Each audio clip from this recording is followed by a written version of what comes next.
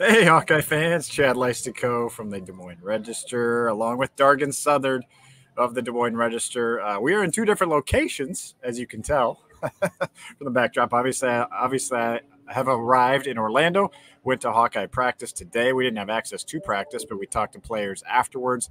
I'll get into more of that uh, as this YouTube Hawk Central show moves on. Tyler Tachman off today, but he will be with us later in the week. But the reason I have Dargan on is because he is a Tennessee guy. Uh, and I, I, think it's okay to say you're a Vols fan, Dargan. Um, you cover the Hawkeyes, but you're a Vols fan. Um, and uh, you have a lot of insight around this Tennessee football program. So, what more uh, apropos registered colleague to have on than you? Yeah. Um, and I'm actually in uh, the 865 Knoxville right now. So, uh, I did not get sent down here to report the quarterback news, but uh, it was a nice coincidence. Yeah. So uh, get your pronunciation guides out. It's Nico Iama Leava. Iamaleava.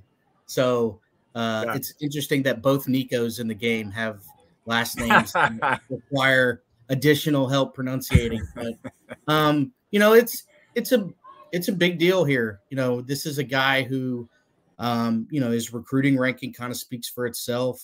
Uh, got a hefty NIL paycheck to come here, several million dollars. Um, and this was always kind of a bridge year with Joe Milton at quarterback. But, you know, there were certainly times throughout the season when Tennessee fans wanted a quarterback change and wanted the guy that, you know, has been hyped. You know, a lot of people around here will tell you his arrival and his playing is the most hyped for a Tennessee quarterback since Peyton Manning.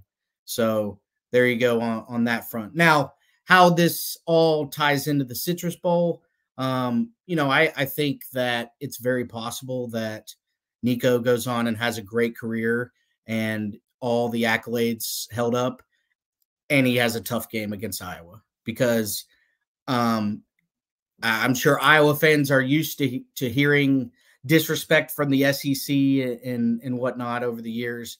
But um, you know, I, I would say there's there's respect for Iowa's defense from Tennessee fans, but I think a lot of people think that the results were largely generated because they played in the Big Ten West. And you know, there's there's a little bit of validity to that, but overall, you know, I think this is this is a great all around test and purpose of this bowl game. You know, obviously how much people care about non-playoff games are is a hot topic right now. But you look at this game, you know, Phil Parker has a chance to fluster and really go after a guy who has not played extensively, has not played in the first half of any college football game in his career.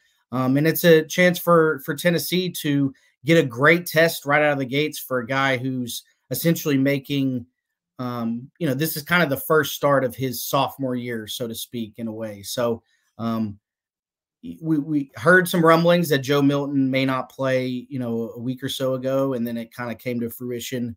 Uh, well, this afternoon, really. And so, so yeah, it's. Uh, I would say that Tennessee fans were kind of meh on the game, just because you know it's been a season that has disappointed a little bit. But uh, everybody's seems pretty re-energized uh, after the quarterback news. So uh, it'll be a it'll be a fun one on Monday for sure. Yeah, good. Uh, a lot of stuff there, Dargan. Uh, Nico Iamaleava uh, starting for the Vols on Monday with Joe Milton opting out. Let's let's just talk a little bit about the Milton opt out because uh, that seemed to catch several Hawkeye players off guard when I talked to them today. We, we caught them off the practice field. So uh, they were practicing pretty much when the news that Milton would opt out uh, materialized. However, it had been rumored. So Quinn Schulte and Deontae Craig were the two guys that were super surprised. And I want to say it was it was pretty genuine based on – uh, the interactions that we had. Uh, those videos are actually up on Hawk Central.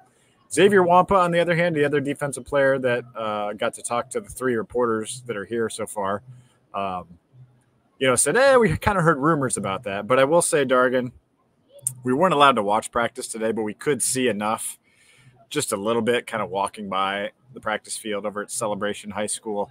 They had a number seven jersey at as the dummy scout team quarterback. So they're obviously preparing for Joe Milton.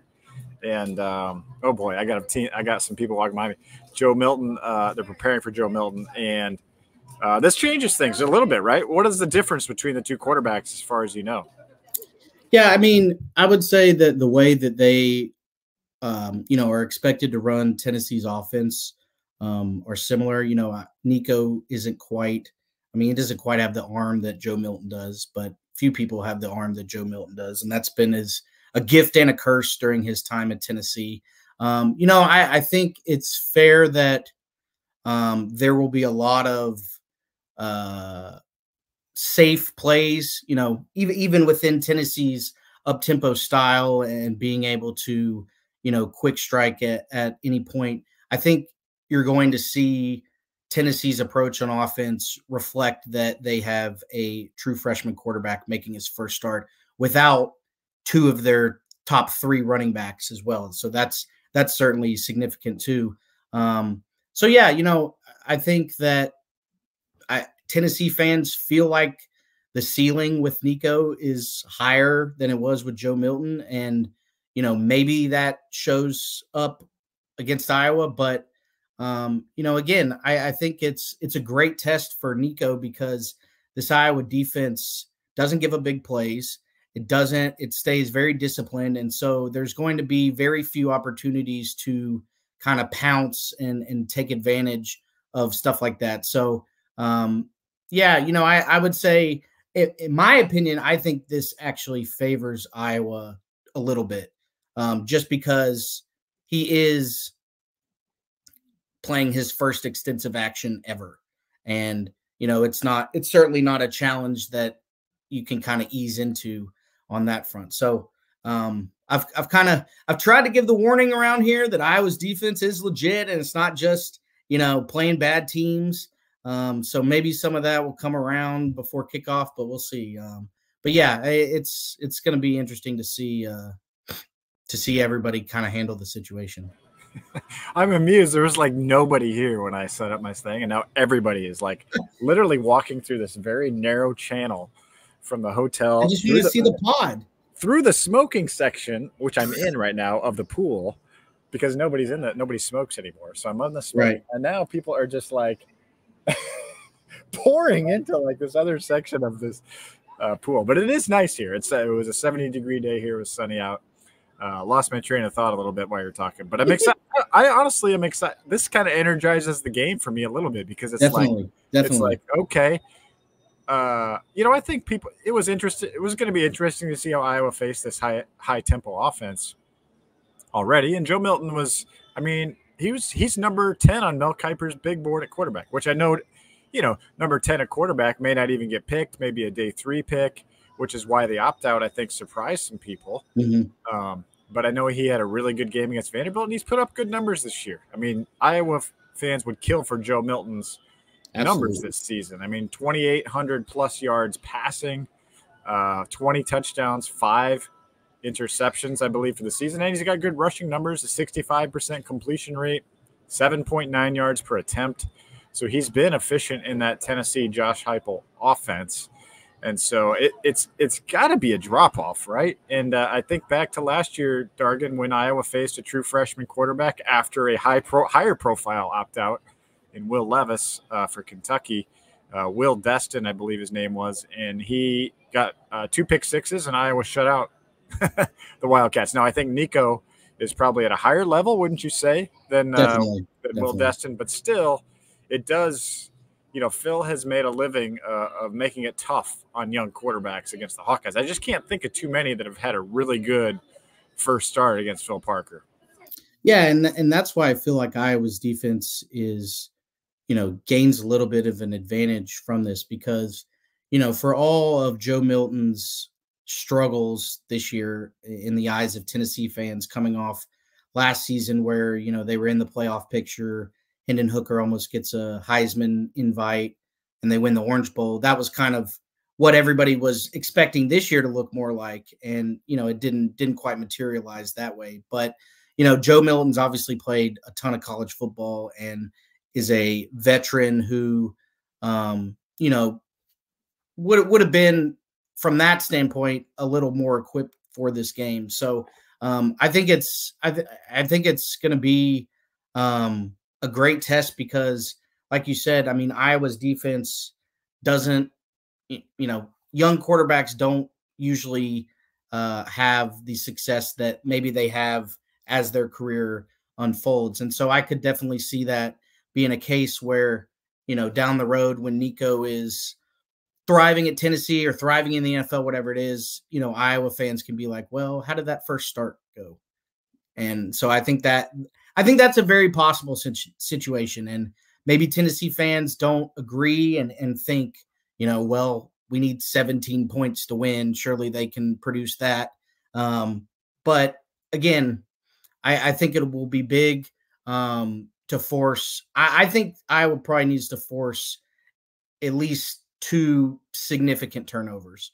Um, and that's obviously been a key factor in helping out the offense in the times that they have scored is getting set up with short fields or um, you know the defense picking up a big stop in the red zone and, and shutting it down. So um, i think there's definitely a path for iowa to win this game that isn't you know really really that outrageous by any means. You're uh, you're kind of our betting expert at the register, not uh, trying to cast any aspersions on you, but has the line moved? I haven't been able to check since this morning. Uh, I saw it at six and a half this afternoon. So okay, I'm so it did move, maybe a point and a half. Sure if, yeah, I'm not sure if that movement all happened today, but I know that obviously that's a little bit of a movement from where the line yeah. initially came out on. It crosses the seven point mark. I mean, it was yeah. eight and a half. So uh, I think Iowa. I I mean, I would probably bet Iowa to cover. I think that's a pretty safe bet. Um, the money line may be a, a, little more, a little trickier, but um, I, I, I would feel comfortable with Iowa covering both of those numbers. Well, let's talk uh, a little bit about Iowa's defense because uh, there was some news with Tennessee's offense today. There was news with Iowa's defense yesterday, kind of as I was uh, uh, making my way to Orlando. Jay Higgins, the middle linebacker uh, becomes the first stay or go guy for the Hawkeyes to make his decision known, and he is going to stay and play a fifth year with the Hawkeyes. He was a true senior this year, uh, did uh, expend his eligibility uh, as a true freshman, but that was during the COVID year, so that was his free year. So this is uh, this would be the last year he has left. Now he could get hurt or something, and then get maybe a co- uh, you know a bonus year. But um, but yeah, he's coming back for one more year. Uh, big news for the Hawkeyes, uh, and that was uh, needed. I mean, I feel like if you're going to rank the guys you'd want to come back, I would put Cooper DeJean one. I would still put Luke Lachey two, just because of what he means to the offense. But Jay Higgins firmly at number three, and with Sebastian Castro probably four for me uh, followed by Jermari Harris, Quinn Schulte, Nick Jackson. So uh, maybe not in that order, but, but something like that. Uh, so big news for the Hawkeyes, and uh, the Hawkeye players were pretty happy about it today, as you would imagine. I don't think anyone's going to say, "Oh, damn it, we lost Jay." We we he was a clubhouse cancer. He, of course, he's the you know Golden right. Gavel winner, is the best guy to deal with uh, with the media. So you know, class guy, team captain, really means good things for next year. Uh, but I, I, don't know, just as a, in a as a general guy who's who's covered the Hawkeyes with me in the press box for several years, uh, and on Tuesdays, I mean, what do you think of Jay Higgins coming back uh, to this team? It's got to mean quite a bit. Yeah, I I really liked his answer that he had uh, when he spoke um, when he was made available. I guess it was last week, where he said, um, you know, you got to make sure that the decision isn't something that you make in the moment and I feel like that the you know with all NFL decisions like this, you you really have to make sure that the emotion isn't overshadowing even isn't overshadowing the practicality of the decision. Meaning, you know, if you look at Cooper DeJean, I think as much as Iowa fans would love to have him back, I think he probably needs to go just because, you know, the emotion of another year with the boys versus being a first round pick, I mean, you, you probably need to take that. But in the case of Jay Higgins, his decision was a lot less uh, clear. You know, he was a guy who had a great season, but this is his first season of of being that caliber of linebacker. And so, you know, I'm sure there were some people, maybe not publicly in the NFL, was like, okay, this guy had a great year, but you know, anybody can have one great year. So, you know, I think he's a guy who, from that standpoint, can definitely come back if he has another year in the middle of Iowa's defense that's among the best in the country, which there's no evidence to suggest that's not going to be the case. And he's kind of the spearheading it all. I mean, that's that's a huge boost for your draft stock and just kind of the perception of where you are, which you know, obviously that's a lot of the draft is is you know the perception of guys building up. So I'm not sure exactly where he was projected to go. Um, I, I imagine it was you know somewhere in the middle rounds, but um, I, I, I like the decision. I, I think it's one that that makes a lot of sense, um, and it doesn't put that emotion over the practicality of the decision, which is going to get paid more in the NFL. So uh, big boost for Iowa, and yeah, it, will be interesting to see if that kind of starts a domino effect of key guys returning, which I think is certainly possible. Hey, I'm glad you said that because that was exactly what I wrote about, what I uh, interviewed uh, Quinn Schulte about today. It's myself and Tom Kakert. We're here along with John Steppe of the Gazette. We're the only three here today, so that was kind of fun to have a little bit of exclusivity with the six players. I know more guys are coming tomorrow on the Iowa media, but uh, or today actually. Um, and uh, but yeah, Quinn Schulte said, "Yeah, it does affect my decision a little bit." And I was like, "Well, what do you mean?" I mean, I just wanted to hear what he said and he's like, yeah, like if he's coming back, I would want to play with, you know, I would want to play on a defense that has him basically. So, uh, yeah, that could help. Uh, that you know, again, like you said, getting the boys back together. And I don't know, yeah, Cooper DeJean, I would say, still an extreme long shot. Though I saw him at practice today. He he gave us a wave, uh, and uh, no no cast on the leg. He's walking he's not going to play. He wasn't in uniform, but uh, but yeah, so he's recovering nicely, which in a way also says like, yeah, you should probably go to the NFL because you know your yeah, injury, you know, your injury is not going to be an issue, you know, come combine. And I know that he said when he spoke last week that the injury wasn't going to affect his draft decision, but I really don't know how it couldn't because you know he was a guy who was just cruising right along, having an exceptional year as one of the best corners in the country. And the fact that he got hurt in practice, this, you know, everybody else's big injury played out in the game. His was the only one, I believe, that played out in practice. That kind of just emphasizes the randomness of football that can happen when you get hurt. And so um, he's he's a guy I feel like of all the guys probably has to fight that, you know, okay, am I just making an emotional decision here because I'm in the building around my boys, or you know, do I really need to go? And and you know, nothing in this sport is is a given. So um, it'll be interesting to see what he ultimately decides. But um, I think I think his was probably and is the toughest of of all the guys making making that decision. And uh, another guy with a decision uh, potentially here to make is Nick Jackson, who uh, reportedly uh, has been granted a sixth year of eligibility for, or whatever, fifth or sixth, whatever, final year of eligibility for Nick Jackson uh, because of, uh, you know, him being in Virginia during the tragic shooting that took some teammates' lives that cut short the Cavaliers season. Um, I guess it was last year, right? So, mm-hmm. uh, you know, he comes to Iowa.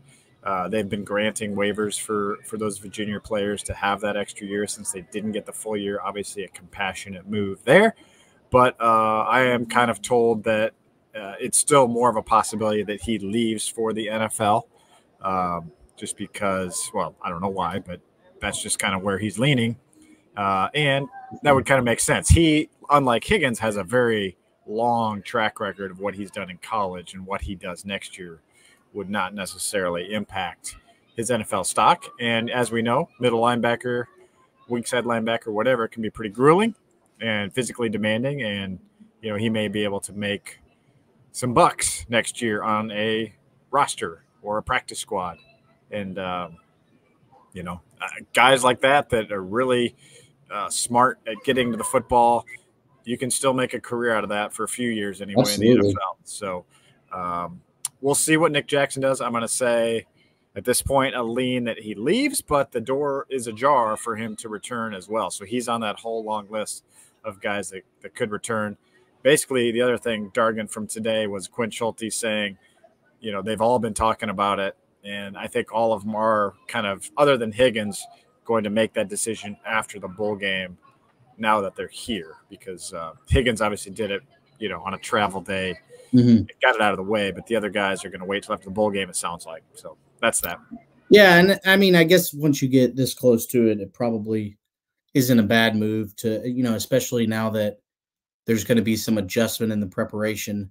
Um, and obviously, even, you know, for a defense as elite as Iowa is going to take, you know, some adjusting to, to a new, preparing at least for a new quarterback. So that makes a lot of sense. You know, I think in Quinn Schulte's case and probably Sebastian Castro's case, um, a little bit like Higgins's deal, where um, you know, especially in Castro's case, this is his first year, or this was his first full year being that dominant force and one of the best defensive backs in the Big Ten and really in the country. So um, I think he's a guy who um, will probably get a lot of you had a good year, but it was one year question. And so if he comes back and you know is is the centerpiece in their secondary, which all indications are that he will be, um, I think that could also set him up for a big year that puts that last finishing kick in his draft stock and really you know gets him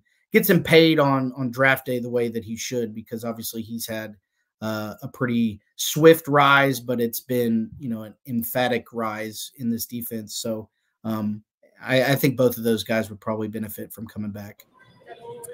Good stuff, Dargan. Just uh, let's wrap up here with some uh, finishing topics. Obviously, uh, you know, like I said, I talked to six players here today. We're going to get a handful, maybe five or six more tomorrow, along with Kirk Ferentz. Also, get a glimpse of the start of practice. So, uh, probably the most access of any day this week.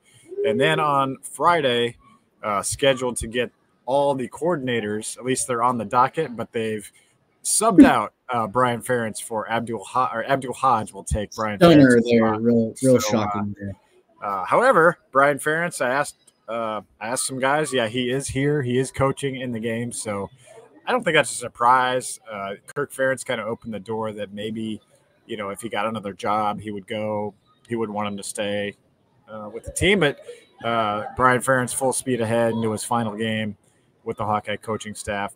Certainly, he makes a lot of sense on the NFL level. And uh, Dargan, as you and I know, as NFL fans, a lot of openings are going to be coming here in uh, about mid-January, early January or so. So, nothing to say, oh, Brian can't get a job, anything like that. I think it's more good timing for him. He can finish it out here for the Hawkeyes and on that note, uh, you know, I mean, Kaleb Brown is a bullish guy, but he's like, yeah, we got a good game plan. And I do feel like if the Iowa offense is going to show something this season, and I know, you know, without Cade McNamara, without Luke Lachey, without Erick All, this bowl game gives us a chance to see something because your offensive line is healthier. Uh, Rusty Feth healthier. Ru- uh, Mason Richmond, healthier. Uh, check out my video with Rusty Feth. He's he dealt with a, a major shoulder injury all of November. Richmond, Dunker, Logan Jones, all those guys are now healthy. Uh, you just got to think after a month of prep that you you should be able to put together something offensively that makes a difference on Monday. Yeah, and again, you know, obviously Tennessee's secondary has been the unit that has been hit by guys going in the portal the most. Now, if you talk to Tennessee fans, most of those guys they weren't too upset about them going into the portal because um, their secondary's kind of been the the glaring issue uh, this season. So, point being that that all the intangibles are set up, at least in that regard, for Iowa to have a pulse on offense, which is really would be an upgrade from uh, you know the whole year, I guess, at this point. So um, yeah, and and on the Brian front, it will be pretty interesting to see where he lands because you know in in the bubble of Iowa City and Iowa football, you know you would think that the man won't be able to go to Iowa City again by how much people dislike him. But I would imagine once you zoom out and have NFL people involved and all that, that you know his name and his coaching abilities are still looked at favorably enough to get another job. So um, I think there'll be a lot of there'll be it'll be interesting to see to see what he does because um, you know it, it really could be a lot of things, and I don't think anybody truly knows exactly what is next for him. So um, that'll that'll be interesting to follow as well. And yeah, it looks like unless something changes, that the last time we will have heard from Brian Ferentz will be uh, the August media day. So he never made the the the assistant coach appearance this year, uh, like all the other assistants did. So, no, I'm not. I'm just laying out the facts. We just haven't had a chance to hear from him about this offense, which has been even worse than last year's statistically, as hard as that is to believe. Uh, any other little nuggets I'm trying to think from today? Uh, there was one question in here that I thought was interesting. Yeah, go for um, it. Is Iowa using the headset communication with the quarterback and the tablet during the games? Oh, that's good. Been yeah. a bowl game topic. Yeah, good question. Um, we did not get uh, any anyone like Deacon Hill. I'm guessing we will tomorrow. It'd be mm-hmm. my guess. We would get Deacon Hill tomorrow and obviously Kirk Ferentz as well. And like I said, I mean that would even be a question we could ask Abdul Hodge, uh, you know, on Friday if we need to, uh, surrounding that. So I don't know the answer on that. Uh, haven't been down here long enough or hadn't enough access to figure that out yet. But that's a great question. Uh, so no sign stealing. I think we were, we were at practice today, and you could see into the practice field, but we were kind of ushered quickly away from sight lines or whatever. But it was so funny because uh, there were two bicyclists that like apparently like rode by and like oh there's like a team on the field and then just started like shooting like shooting like photos like through the fence and stuff and i was thinking you know we were making some connor Stalions jokes and of course iowa doesn't doesn't like anyone snooping on their practices so. yeah i mean this is all under the context that reporters get to view no practice throughout the whole right. season so so it's just kind of funny to look over at these like passersby like you know, shooting stuff about practice, and you're like, wait, Connor Stalions, you know, that's what he would do. Right, you know? right, right. So, uh, but anyway, yeah, good question there. Um, yeah, get. I mean, we'll get. We have another podcast planned later in the week, kind of our five big questions, game preview stuff. Uh, hopefully, Dargan, you're available to join us. That would be great. Get a little more Tennessee perspective, and Absolutely. Tyler Tachman, Tyler Tachman will be back for that one. Um, I guess we we can talk you know two minutes of hoops here in our last couple minutes because you cover the women's team. Uh, they got a game in action this week. Uh, things, uh, you know, going pretty well for the women, right? Uh, Caitlin Clark, everything. Um, I don't know. Give us give us your your top line takeaway off the Hawkeyes. Uh, who'd they beat? Florida Gulf Coast. Uh, Loyola was their last Loyola, one. not Florida Gulf Coast. I don't know what I'm. Um, yeah, you know, I mean, I, I think you know, twelve and one in the non-conference. They doubled back and got you know the other win against Kansas State after losing to them. Um, so I think on the court everything looks pretty much this you know like Iowa wants it to look. Um, you know I think the offense still has a few moments where it kind of feels like it's going to be done by Caitlin or it's going to be done by no one. Um, so you know I think that's the goal to change that between now and the start of the NCAA tournament when um, you know, everybody's going to be needed to to do something. So uh, Minnesota at home on Saturday. Uh, Minnesota has been a team that's looked better so far. You know, I think they're in the first four out of the bracketology right now. Um, but it's been a team that I was taking care of pretty pretty easily over the years. So wouldn't expect a ton of drama in that one. But um, you know, as this Big Ten schedule heats up, uh, it's going to start magnifying any issues that are there, which, you know, through the month of December was a little lighter than the month of November for them. So, um, yeah, I, I think everything's kind of pushing along, and I'm sure there's a lot of people who would want to fast forward to March. I, uh, I'm sometimes in that boat. Um, but yeah, you know, it's, um, you know, and then, and then obviously Caitlin got a lot of social media love at the Chiefs game, uh, on Christmas. So that was that was cool to see. Uh, it wasn't good enough to get them a win, but uh, I, I did I did actually see a, a loose uh, narrative because you know Caitlin they lost the game on Christmas and they lost the game to Philly on Monday night when she was on the Manning cast. So there's a there's a loose narrative that Caitlin Clark is uh, bad luck for the Chiefs. So I don't know. If that, I don't know if that's uh, gonna hold true. I, I don't think it will, but uh, that was that was a hu- a very humorous moment uh, from that. But yeah, I think I think this week was good for them to recharge and uh, should jump right back in to Big Ten play with plenty of confidence. Yeah, I think another even more famous female as being uh, uh, blamed for the Chiefs' failings this oh, year. Oh yeah, well, sure. I was waiting for that picture to come out. I I, I figured they would link up. Uh, you know, yeah, Caitlin and Taylor Swift. That would have been yeah. a pretty sweet photo, actually. Yeah. Anyway, but uh, I don't know. Uh, she's she's in high demand these days. So yeah, got Clarkies and Swifties, right? Everybody's uh everybody's in red right now. All right, Dargan uh, Southard, thank you for joining us with some Tennessee expertise. And uh, we will join Tyler Tachman later this week. We'll get you the final schedule when we iron it out. But uh, thanks for joining us on this Wednesday, Hawk Central, in place of tonight's radio show. For Chad Leistikow, Dargan Southard saying thank you and so long.